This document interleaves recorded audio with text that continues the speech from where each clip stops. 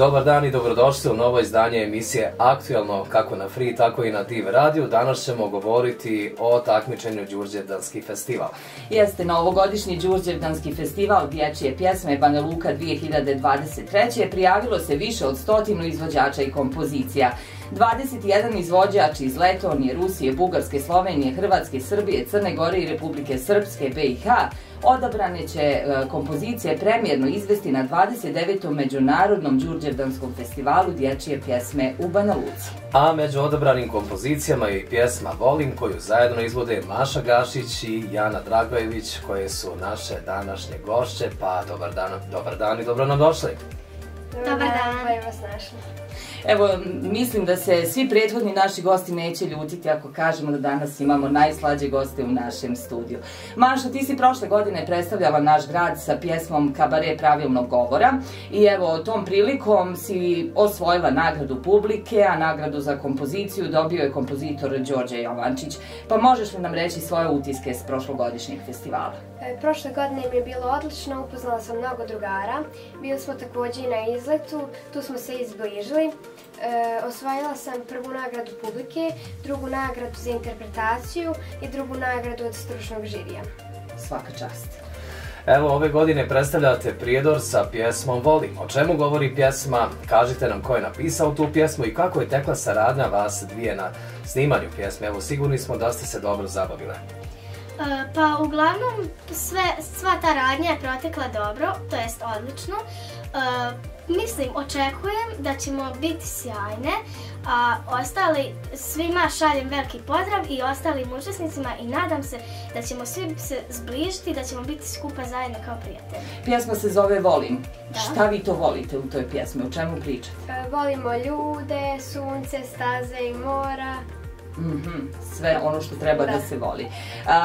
vas dvije, kako ste sarađivali? Ili možda ima neki nedoumica, neki razmirica, nešto u čemu se ne slažite? Pa desi se one neke nekad sitne greškice oko plesa ili tako, pa se zna nekad desiti da se malo zbrčka, ali na kraju se sve to rastvori i budemo fini. Prijateljski. Prijateljski, da. Svaka čast. Evo kažite nam kako su tekle pripreme za ovogodišnji festival, je li bilo naporno raditi?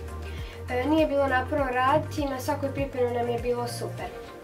A evo Jano, s obzirom da idete u školu, da imate sve te školske obaveze, kako uspijevate da sve to uskladite? Izlazi li vam škola u susret? Da li vam možda drugari, ukoliko se desi da odsustujete s časova, šalju zadaću, e, pomažu u tom smislu?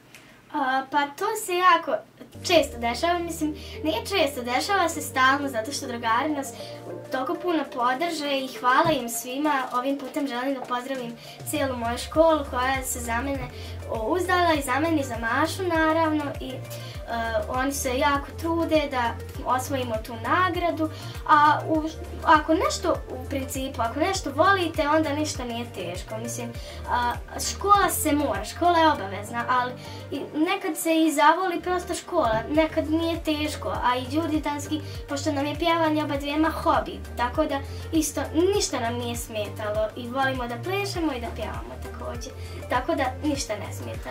Evo, s obzirom da idete u školu, kako ste uspjeli da postignete ovo sve, ovaj uspjeh? pa trudom i radom, mislim, nije to naš trud i rad, mislim, otprilike jeste, ali koliko mi vježbamo i koliko, koliko smo se trudili da taj glas navježbamo, mislim da je ovo bilo i očekivano. Šta ti Mašo imaš reći? E, pa ja imam mnogo za učiti, e, ja sam šesti razred, ali ja to sve stignem. Bravo. Evo, bliži se festival, on je u subotu, 13. maja. Šta očekujete od učešća? Mašo, ti si dobro prošla na prošlogodišnjem festivalu. Šta očekujete vas dvije od ovogodišnjeg festivala?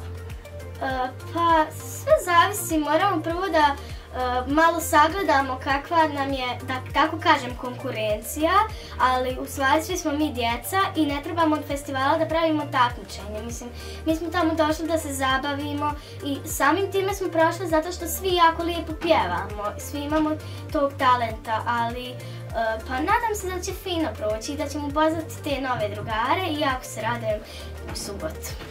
Evo, pored vaših eh, drugova i drugarica iz razreda, ko vam je najveća podrška na vašem muzičkom putu? E, najveća podrška nam je porodica, e, sportska dvorana Mladost, e, naš gradonačelnik Slobodan Javor i Dada Topić koja nam je i izmislila ples za festival. Evo imate još jednu podršku, a to je podrška Free Radija i cijele ekipe. Mi ćemo navijati za vas, glasat ćemo za vas. E sad kad smo već kod toga morate reći našim slušalcima kako mogu da glasaju. E, glasati se može preko Facebooka, e, e, like- Link Đurđevdanski festival. Samo lajkujete i to je prilike neka mala podrška za nas. Mislim, to je na dobrovoljnoj bazi. Ko želi, a ka- ko ne želi. Mislim, nas dvije bismo jako voljele da svi vi se uključite i da glasate, ali to je na dobrovoljnoj mjeri. Znači, ko god želi. Evo, čuli smo, posebno pozivamo sve prijedočan, prijedočanke i prijedočane koji nas slušaju da glasaju za ove naše dvije divne djevojčice i da osvojimo Đurđevdanski festival. Evo, ja vam zahvaljujem što ste evo i nakon školskih obaveza, svega što ste imali, izdvojili se od svoje vrijeme da dođete kod nas. Kao što rekoh malo čas, mi navijamo za vas, želimo vam puno sreće i još jednom hvala što ste bile naše gošće. Hvala Hvala vam vama. puno.